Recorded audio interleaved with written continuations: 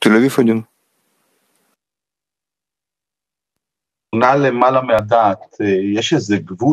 Вера выше знания есть какая-то граница, которую ты ставишь себе?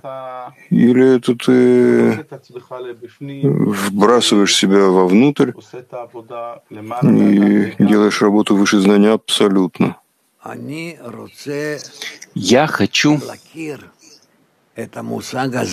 осознать это понятие на себе. Я не знаю, что такое знание даже мое. Что, что такое у меня знание? И что называется верой? И что одно выше другого? Как это может произойти во мне?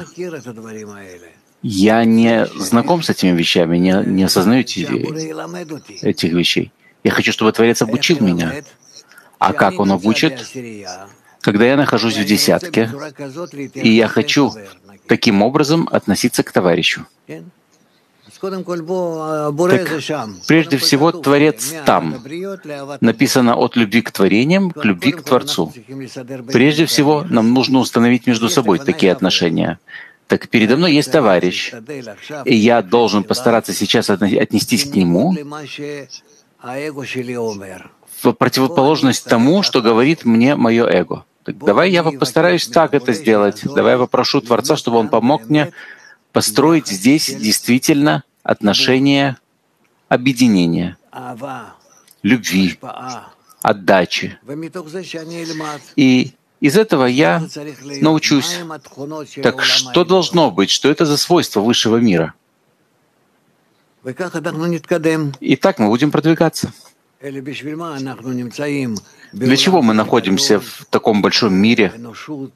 Э, с миллиардами людей в человечестве, которые связаны друг с, другу, друг с другом.